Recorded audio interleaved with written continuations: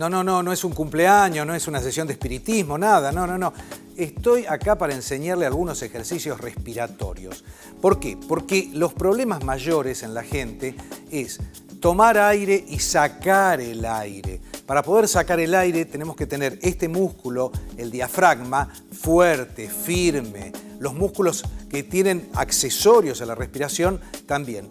Para eso tenemos que hacer ejercicios, sobre todo para sacar el aire.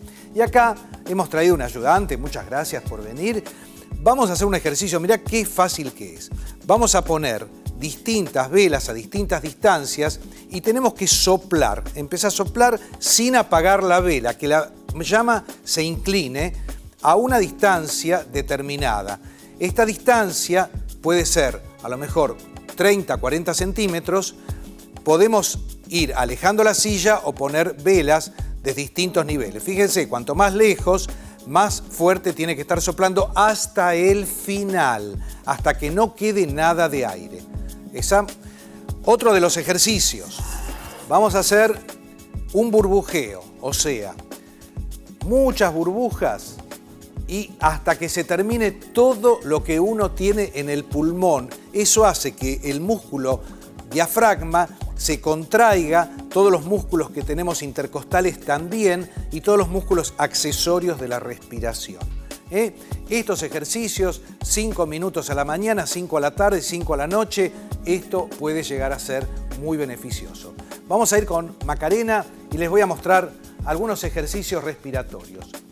El diafragma es un músculo que está acá, divide pulmón y corazón de las vísceras abdominales es como si fuese un diafragma que va y viene. Para fortalecerlo, ponemos una mano en el pecho y una mano en el abdomen. Tomamos aire, llenamos la panza y ahora el aire lo mandamos hacia arriba, sin sacar, ¿eh? Cerrada la boca, mandamos para acá y para abajo. Arriba y abajo, con el aire adentro, todo lo que aguantemos. En este momento el diafragma está haciendo una suerte de pivot y se está fortaleciendo otro de los ejercicios, siempre trate que la respiración sea abdominal. Una bolsa, medio kilo, un kilo, arena, arroz, azúcar, como usted quiera. Lo ponemos en el abdomen y tratamos de tomar aire. Vamos a bajar esta manito así la gente lo puede ver. Y cuando tomamos aire podemos levantar tomando aire, hinchando la panza y sacando todo el aire. ¿eh? La bolsa baja. La bolsa sube y la bolsa baja, tratando que el tórax se mantenga quieto. Si este ejercicio lo tiene que hacer con chicos que tienen asma o enfisema y demás, lo puede hacer con un cochecito, que el nene mire cómo el coche sube y baja.